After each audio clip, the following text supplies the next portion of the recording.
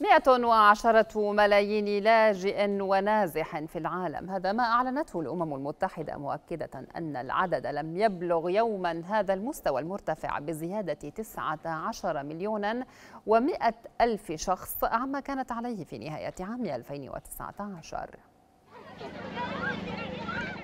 الإضطهاد والتمييز والعنف ودوافع أخرى منها تأثير تغير المناخ جعلت الملايين حول العالم يفرون من بلدانهم أو ينزحون من ديارهم حتى بلغ عددهم الإجمالي 110 ملايين شخص.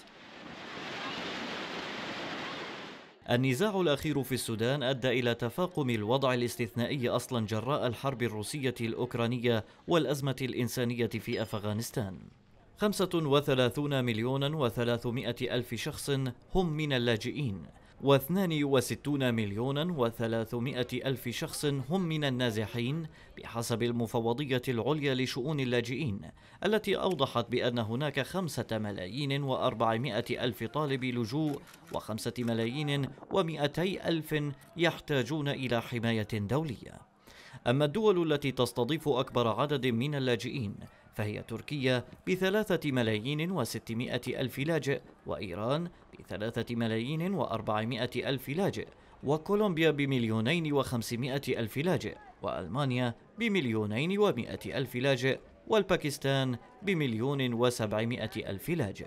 العام الماضي عاد أكثر من 339 ألف لاجئ من 38 دولة إلى بلدانهم. بينما تمكن خمسة ملايين وسبعمائة ألف نازح من العودة إلى بيوتهم. وفي ظل ما وصفه رئيس المفوضية فيليبو جراندي بإدانة لوضع عالمنا فضلا عن مواجهة اللاجئين بيئة أكثر عدائية في كل مكان تقريبا يبدو المستقبل قاتما في هذا الإطار خاصة أن المفوضية ومنظمات إنسانية عدة تعاني من نقص التمويل. تجددت الاشتباكات في السودان بين الجيش وقوات الدعم السريع في العاصمة السودانية الخرطوم.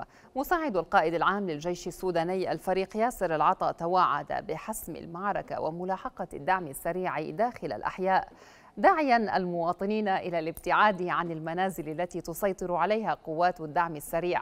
هذا وتخلل النزاع المسلح في السودان سلسلة اتفاقات هشة لوقف إطلاق النار منذ أن اشتعلت شرارة انتزاع منتص... عفوا شرارة النزاع في منتصف نيسان الماضي.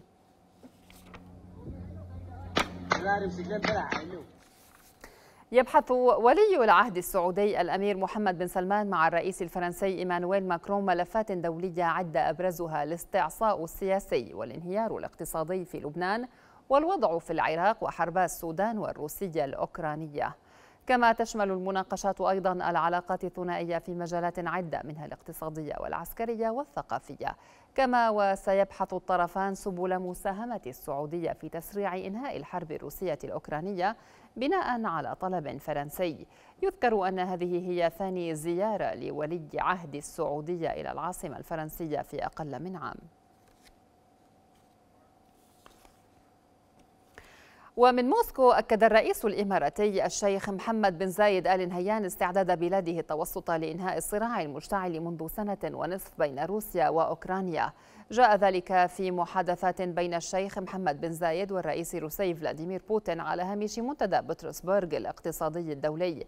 من جانبه شكر بوتين الرئيس الإماراتي على جهود بلاده في الإفراج عن أسر روس في أوكرانيا أواخر العام الماضي.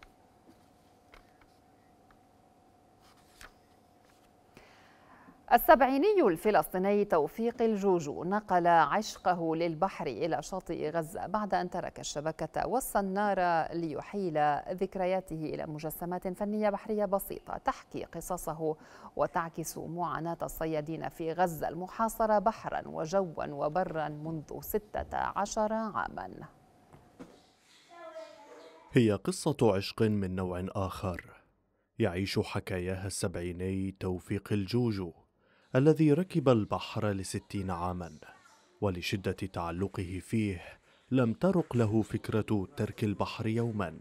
فراح يجسد قصصه التي عاشها من خلال مجسمات فنية بحرية بعضها تحاكي معاناة الصيادين وأخرى لمراكب صيد عمل فيها. علها تعيد له ذكريات الصبا وأيام شبابه. أنا وأنا بديت في الصيد وفي البحر وأنا عمري عشرين سنة وأنا صيد ودليتني في الصيد حتى تقاعدت حتى كبر سني ما بقدرش أنزل. ففكرت في المقسمات هدول عشان ما سيبش البحر. والبحر حلو وكويس وفن. بعدين في المقسمات هدول أعمل فيهم لحتى الآن أنا عاشق البحر وما سيبتش البحر وبعمل في المقسمات. ولأن البحر عالم مسكون بالجمال. يجيء الحاج توفيق إليه كل يوم مستمدا إلهامه منه ليبحر في فن صنع المجسمات آملا في أن تحظى يوما ما بفضاء تعرض فيه. هذه المجسمات إن شاء الله بدي أعرضها. في أي معرض دولي في أي معرض أنا بتمنى إنه أي ناس أي دولة أي حاجة إنه تساعدني إنه أحطهم في معرض هدول اللي أنا أترزق وأتنفع منهم. ولا يستخدم الصياد الفنان سوى بعض المعدات البسيطة لإنتاج مجسماته. فكل ما يحتاجه هو الفلين وبعض الدمى والألوان. ربما نال كبر عمره من قدرته على ركوب البحر والعيش فيه لكن العمر لم ينل من شغفه به فبات البحر يعيش فيه. غازي العلول رؤيا قطاع غزة. قدم فريق مسرح شمس عرضا مسرحيا بعنوان ادفع ما بدفع كأول عرض مسرحي أردني في سوريا وعلى خشبة مسرح الحمراء بالعاصمة السورية دمشق. تعلو أصوات ضحكات السوريين في مسرح الحمراء بدمشق تفاعلا مع العرض المسرحي الأردني الأول في سوريا. تفاعل لافت حصده فريق مسرح شمس بعرض استمر ليومين تحت عنوان ادفع ما بدفع. اليوم العرض كان بجنن وكان رائع جدا والشعب السوري والجمهور السوري استقبلونا بشكل عظيم. فبشكرهم جدا وهاي كان هذا كان عرض بتمنى تكرار التجربة دائما.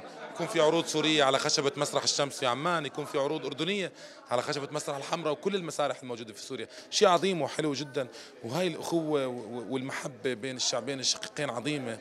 والله يخلينا لبعض بيقولوا. الحمد لله كانت قريبة من الناس. اليوم مسرح الحمراء يعني كان شاهد على هذا الموضوع. يعني الضحك كان واصل في كل مكان. وخصوصا إنه بكل المطارح اللي مرينا فيها بالمسرحية من البداية للوسط للنهاية. كانوا الناس منسجمين جدا والجمهور منسجم جدا آه، في المسرحية. فالحمد لله لا كنا يعني فوق المتوقع كان هذا الموضوع. الجمهور السوري جمهور جدا رائع جدا مثقف. يعني يعني أنا وأنا بعرض جد حسيت حالي كأني في بيتي. يعني جمهور كأني بين أهلي بين بين ناسي. يعني ما ما اختلف عن عمان.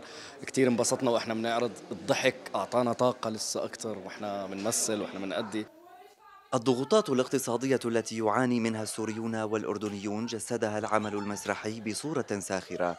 فكرة قد تكون بادرة جيدة في بداية عودة العلاقات الفنية بين البلدين إضافة لاختيار المسرح لإنعاش هذه العلاقات مجددا كما يسعى القائمون على مسرح شمس الأردني.